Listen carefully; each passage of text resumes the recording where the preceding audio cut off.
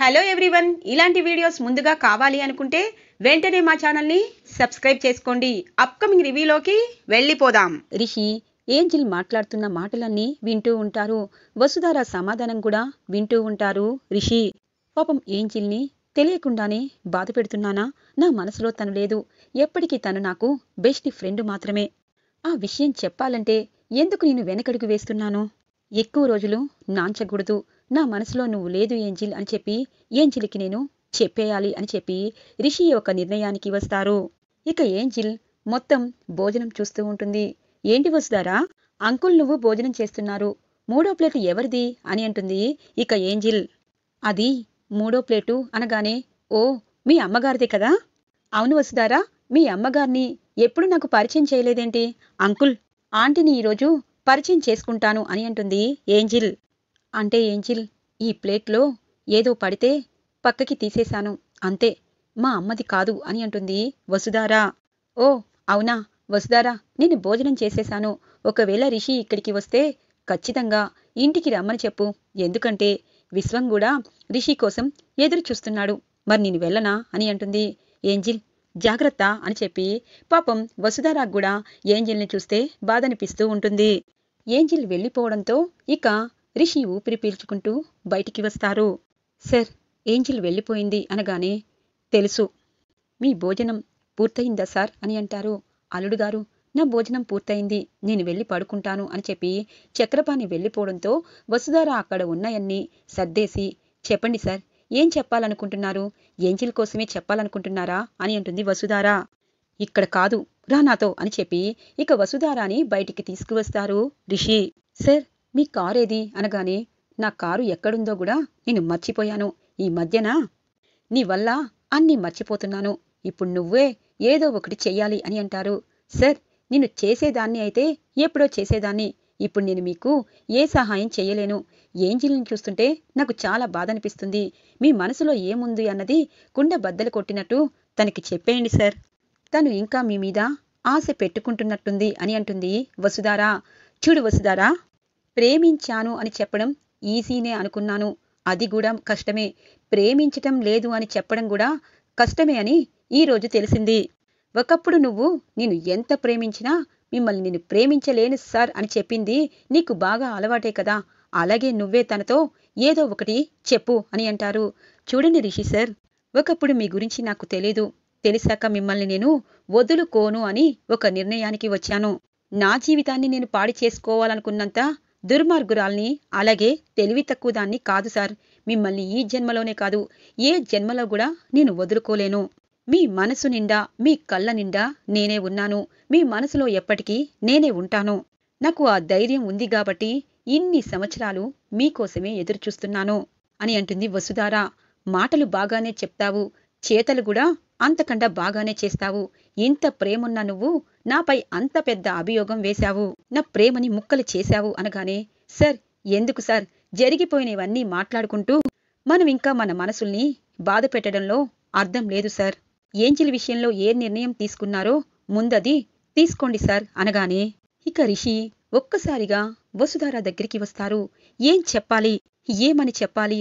నాకు అన్నీ నేర్పించి గురువు కంటే ఎక్కువగా నా తప్పొప్పుల్ని నాకు చెప్పి నాతో తగువులాడి నా దగ్గరికి చేరి నా మనసులో పూర్తిగా తనే ఆక్రమించి తెలియని విషయాలు కూడా ధైర్యంగా మాట్లాడుతూ ఉన్నా వసుధార ప్రేమని మర్చిపోకుండా వసుధారాని నేను ప్రేమించాను. నా ప్రాణం కంటే ఎక్కువగా ప్రేమించాను. నిజంగా ఈరోజు ఈ రిషి ఇలా ఉన్నాడు అంటే వసుధార ఎన్నో నాకు నేర్పించిన ఆ తీపి జ్ఞాపకాలనే అని నేను చెప్పాలా? వసుధారాకి నాకు ఎంగేజ్మెంటు అయిపోయింది. త్వరలో పెళ్ళి చేసుకునేలోపు మా ఇద్దరి మధ్య అగాధం ఏర్పడింది. ఇప్పటికీ నా మనసులో తానే దేవతగా ఉందని చెప్పాలా? చెప్పు వసుధారా చెప్పు అని చెప్పి ఇక వసుధార దగ్గరికి వచ్చి తన చేతిలో వసుధార ముఖాన్ని దగ్గరగా చేసుకుంటూ చెప్పు వసుధారా చెప్పు ఎందుకు నా గుండెని ఇంతగా ముక్కలు చేశావు? ఇప్పుడు కూడా ఆ ముక్కల్లో నిన్నే వెతుక్కుంటున్నాను. ఏం చెప్పాలి? ఆకాశమంత ప్రేమ ఉన్నా వసుధార ఎందుకిలా మారిపోయిందని చెప్పాలా అని చెప్పి వసుధారాని అడుగుతూ తన కళ్ళ వైపు చూస్తూ ఉంటారు. రిషి బాధగా సార్ నా మీద ఇంత ప్రేమ ఉందా మీకు? నిజంగా సార్ మీరు నన్ను ఎంతగా ప్రేమిస్తున్నారో నాకు తెలుసు సార్. కానీ నా చేతిలో ఏమీ లేదు సార్. ఎందుకంటే కొన్నిసార్లు మనకే మనం ద్రోహం చేసుకుంటాము. ఈ రిషి తారానే సార్కి దూరం చేసేశాను. మీ మనసుని గాయపరిచాను. ఇంకెప్పుడు నేను ఇలాంటి నిర్ణయం తీసుకోను సార్. మీరు నాకు కావాలి సార్. మీ ప్రేమ నాకు కావాలి. మీరు దూరమైతే ఈ వసుధార జీవచ్చవంలాగా ఉండిపోతుందే గాని ఇంకొక్క అడుగు కూడా ముందుకు వెయ్యలేదు అని అంటుంది. ఇక వసుధారాని దూరంగా జరిగిపోతారు. లేదు మేడం లేదు. మీరు ఒంటరిగా ఉండిపోవడానికి సిద్ధమయ్యారు. కానీ నేను పాత గాయాల్ని మర్చిపోలేను. వెళ్తున్నాను. వెళ్తున్నాను. రేపు ఏంజిల్కి నా నిర్ణయం చెప్తాను అని చెప్పి అక్కడి నుండి స్పీడ్గా వెళ్ళిపోతూ ఉంటారు. కరెక్ట్గా అక్కడికి ఏంజిల్ వస్తుంది. రిషి వసుధార ఇద్దరూ మాట్లాడుకున్న మాటలన్నీ దూరంగా వినేస్తుంది. ఏంజిల్ ఒక్కసారిగా కుప్పకూలిపోతుంది. ఏంటి? నేను చూస్తున్నది కళా నిజమా? అంటే రిషి వసుధార ఇంతకు ముందే పరిచయమా? ఇద్దరు ప్రాణం కంటే ఎక్కువగా ప్రేమించుకున్నారా? అందుకేనా? వసుధారని చూస్తే దూరంగా వెళ్తూ కోపంగా ఉంటాడు రిషి. ఇక వసుధార రిషి తన ఆస్తిలాగా ఎప్పుడు ఏదైనా జరిగినా తను చాలా అంటే చేల కోపంగా వచ్చి రిషికి వార్నింగ్ ఇస్తూ ఉంటుంది. అసలు వీళ్ళిద్దరూ ఒకరినొకరు ప్రాణం కంటే ఎక్కువగా ప్రేమించుకున్నారా? మరి ఎందుకు వీళ్ళిద్దరూ దూరమయ్యారు? అందుకే వసుధార తన మనసులో రిషి ఉన్న సంగతి తెలిసినా పాపం నా కోసం తన ప్రేమని త్యాగం చెయ్యాలనుకుందా? అసలు రిషి వసుధారాని అంత ప్రాణం కంటే ఎక్కువగా ప్రేమించినప్పుడు ఎందుకు వీళ్ళిద్దరూ దూరమయ్యారు? అసలు వీళ్ళిద్దరి మధ్య ఏం జరిగింది? థ్యాంక్ గాడ్ నిజంగా ఈ రోజు ఈ విషయం నాకు తెలిసింది కాబట్టి సరిపోయింది. లేకపోతే వీళ్ళిద్దరి మధ్య నేను వెళ్ళిపోయేదాన్ని. ఇప్పటిదాకా రిషి వసుధారా నా దగ్గర వాళ్ళిద్దరూ ఎవరికి ఆ- వాళ్ళు తెలియకుండా నాటకమాడారు. ఇప్పటి నుండి మీ ఇద్దరిని కలపడానికి ఈ ఏంజిల్ మీకోసం ఖచ్చితంగా కొత్తగా మారబోతుంది. మీ మనసుల్లో ఉన్న ప్రేమ మీ ఇద్దరి ప్రేమ బయట పెట్టబోతుంది. రిషి ఎప్పటికీ నాకు మంచి స్నేహితుడే. నిజంగా రిషి లాంటి భర్త రావడం అంటే అది కలే అనుకోవాలి. వసుధారా నువ్వు చాలా అదృష్టవంతురాలివి. ఏంజిల్ అంటే ఏంజిల్ లాగే ఆలోచించాలి. వాళ్ళిద్దరినీ ఎలాగైనా కలపాలి. ఇప్పుడు నా మనసు చాలా ప్రశాంతంగా ఉంది. ఈ విషయం అర్జెంటుగా తాతయ్యకి చెప్పాలి అని చెప్పి ఇక ఏంజిల్ అక్కడి నుండి తన ఇంటికి వెళ్ళిపోతుంది. తెల్లగా తెల్లవారుతుంది. రిషి ఏంజిల్ దగ్గరికి వచ్చి ఏంజిల్ నీతో నేను కొంచెం మాట్లాడాలి అనగానే ఏంటి రిషి నాతో ఏం మాట్లాడాలి? ఇక్కడే మాట్లాడాలా అనగానే లేదు ఏంజిల్ బయటికి వెళ్దామనుకుంటున్నాము అనగానే సరే వస్తున్నాను. ఒక్క నిమిషం వసుధారాని కూడా రమ్మంటాను రిషి అనగానే లేదు నీతోని పర్సనల్గా మాట్లాడాలి అని అంటారు. సరే రిషి వెళ్దాం పద అని అంటుంది. ఏంజిల్ రిషి ఇక ఒక ప్లేస్లో ఆగి ఉంటారు. ఇక ఏంజిల్ మాత్రం వసుధారాని ఖచ్చితంగా ఫోన్లో ఇక్కడికి రమ్మనాలి. వీళ్ళిద్దరి ప్రేమని బయటపెట్టాలి. నాతోనే ఆడుకుంటారా అని చెప్పి ఆ రిషి. తాతయ్య విశ్వం నా పెళ్ళి కోసం ఎన్నో కళ్ళతో ఎదురు చూస్తున్నాడు అందుకే తాతయ్యని ఎవరిని బాధ పెట్టకూడదని నేను ఒక నిర్ణయం తీసుకున్నాను. నేను ఖచ్చితంగా పెళ్ళి చేసుకుంటాను రిషి అనగానే రిషికి భయం వేస్తూ ఉంటుంది. ఒకవేళ ప్రేమిస్తున్నానని నాకు చెప్తుందా ఏంటి? అసలే సార్కి హెల్త్ బాగోలేదు. ఏంజిల్ మాట ఖచ్చితంగా ఒప్పుకోవాల్సిన పరిస్థితి వస్తుందేమో లేదు లేదు. తన నోటి వెంట ఆ మాట రానివ్వకుండా నేనే తన మనసులో లేనని తను నేను కనీసం పెళ్ళి చేసుకోనని చెప్పేయాలి అని చెప్పి మనసులో అనుకుంటూ వెనక్కి తిరుగుతారు. రిషి వసుధారాని కూడా ఇక్కడికి రమ్మని చెప్పాలనుకున్నాను. నువ్వు వద్దని చెప్పావు. కానీ వసుధారా గురించి కూడా నేను ఆలోచించాను రిషి. నాకు విశ్వం ఎలాగో తనకి కూడా వాళ్ళ నాన్న అమ్మ అలా వాళ్ళు కూడా వసుధారకి పెళ్ళి చేయాలని అనుకుంటారు కదా. అందుకే నా పెళ్ళితో పాటు వసుధార పెళ్ళి కూడా అయిపోతే బాగుంటుంది కదా అని అంటుంది ఏంజిల్. ఒక్కసారిగా ఉలిక్కి పడతారు రిషి. నన్ను పెళ్ళికి ఒప్పించాలని నువ్వు ఆరాట పడుతున్నావు. నీ మాట నేను కాదన్ను. ఇకపై నేను పెళ్ళి చేసుకుంటానని అంటున్నాను. ఇక వసుధారాని కూడా మనమే ఒప్పించాలి. ఇంకా సేపట్లో వసుధార ఇక్కడికి వస్తుంది. తనకి మనం మంచి సంబంధం చూసి పెళ్ళి చేయాలి. తన మనసుకి దగ్గరైన వారు తన మనసుని తెలిసినవారు. మనసు నిండా తనే ఉన్నవారిని వెతికి పట్టుకోవాలి రిషి అని అంటుంది. ఇదేంటి?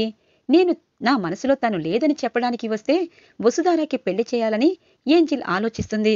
అసలు ఏంజిల్ ఏమనుకుంటుంది? వసుధారకి పెళ్ళేంటి? నాన్సెన్స్ అని రిషి మనసులో వసుధారని తలుచుకుంటూ ఉంటారు. ఈ పొగరు ఈ ఏంజిల్కి నాకు ఏదో పిటింగ్ పెట్టి ఇలాంటివన్నీ కావాలనే తినతో మాట్లాడిస్తుందా?